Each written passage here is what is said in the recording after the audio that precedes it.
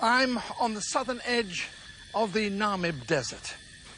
Here, plants can't get water not because it's frozen, but because rain hardly ever falls, only about one or two inches in the whole year.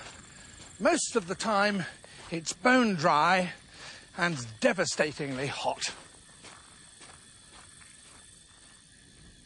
Yet, almost unbelievably, there are trees standing out in the sands, totally unsheltered, with no sign of moisture anywhere around them. Water storage is the great trick here.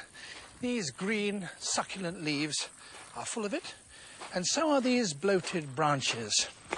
The local bushmen used to cut off these branches and hollow out the spongy tissue and use them as containers for their arrows, which is why this tree is called the quiver tree.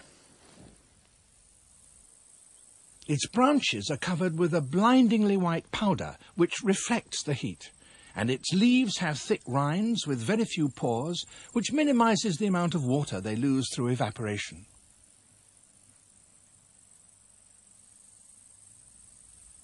The trunk, even of an old tree ravaged by the years, remains smooth and impermeable.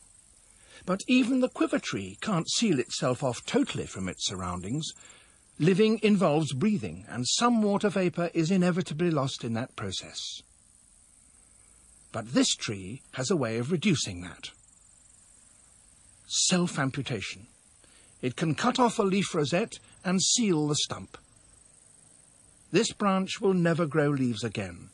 But with luck, the tree will just survive with a reduced number of leaves and put out new shoots when conditions improve.